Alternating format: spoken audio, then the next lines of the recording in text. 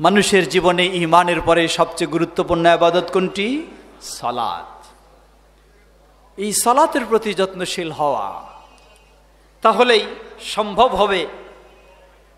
কারণ আল্লাহ বললেন, কাদ আফলাহাল মুমিনুন সফল কাম হয়েছে মুমিনেরা। আল্লাযীনা হুম ফি সালাতিহিম খাশিউন।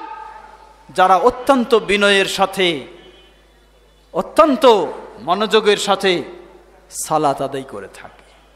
কিন্তু আমাদের সালাত কিন্তু বিনয়ের সাথে খুব কম হয়। বিশেষ করে আসতেছে তো সামনে কি? রমাজান মাস, তারাবির সালাতে দেখা যাবে হ্যাঁ? যে ইমাম যদি একটু ধীর স্থিরে তারাবি আদায় করে, যে ওই ইমামরে কেমনে বাদ দেওয়া যায় এটাই চিন্তা করে বেশি হ্যাঁ? কে, ঠিক না? আর যেই ইমাম এক নিঃশ্বাসে সুরাফতে শেষ করে দিয়ে বাস উঠার, বসা, তুফান মিল চালাতে পারে, সেই বাহবা পায়। এগুলি সালাত নয়। সালাত হবে ধীরস্থিরতার সাথে।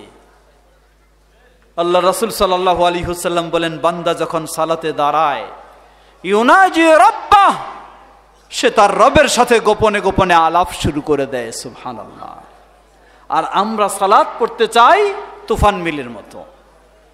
কখনো নয়। কি ধরনের আলাপ? আল্লাহ আল্লাহ রসুল আল্লাহ বলছেন।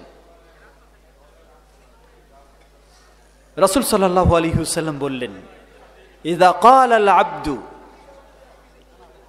আলহামদুলিল্লাহ রব্বিল আলমিন, ফকাল আল্লাহ তাআলা হামিদানি আব্দি।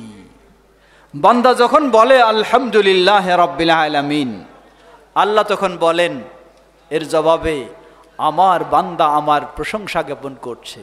সুহান ওয়াইদা কাল আল আব্দু আর রহমান রহিম কাল আল্লাহ, আসনা আলাইয়া আব্দি।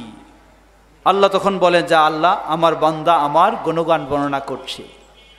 ওয়াইদা কাল আল আব্দু মালিকিয়া উমিদ্দিন কাল আল্লাহ, মজ্জাদানি আব্দি। বান্দা যখন বলে মালিক ইয়াউমিদ্দিন আল্লাহ তখন বলেন, আমার বান্দা আমার মর্যাদা সম্মান বর্ণনা করছে।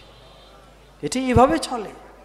কিন্তু আমরা চাই যে ইমাম সাহেব এমন দ্রুত যাতে এক নিঃশ্বাসে পড়বে, আল্লাহ যেন এখানে কোনো জবাব দেওয়ার সুযোগ না পায়। ইল্লা বিল্লাহ। এমন সালাত আদায় করার চেয়ে বসে থাকা ভালো। বসে বসে আপনি আল্লাহর জেকের আজকার করবেন তসবি তাহলিল করবেন, কোরআন তেলাওত করবেন, সেটি অনেক ভালো। ওই সালাতের চেয়ে। এই সালাদকে আল্লাহ রসুল্লাম মোনাফেকের সালাদ বলেছেন। এই খালি উঠা লাফা এক দৌড় ঝাঁপ না, কখনো নয়।